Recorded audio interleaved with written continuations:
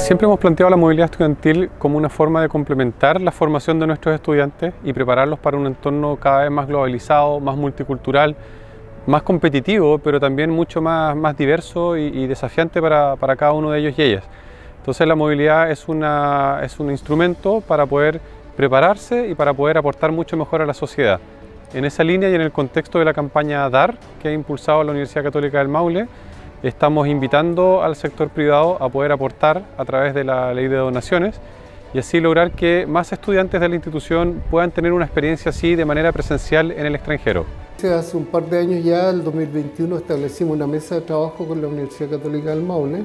Dentro del pilar sostenibilidad, combina a involucrarnos en el desarrollo regional.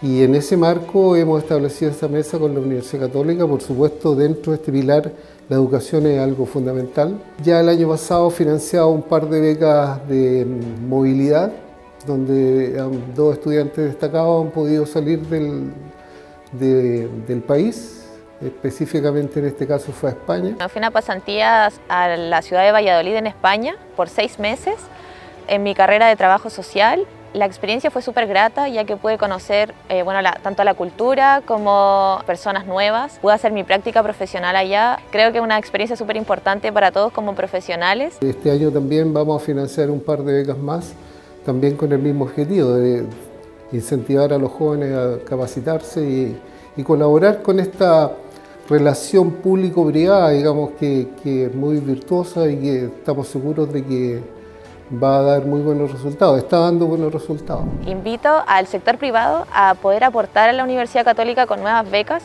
y a poder sumarse a esta nueva iniciativa de apoyar a los estudiantes para los futuros profesionales para que se vayan a estas pasantías y puedan recibir esta experiencia.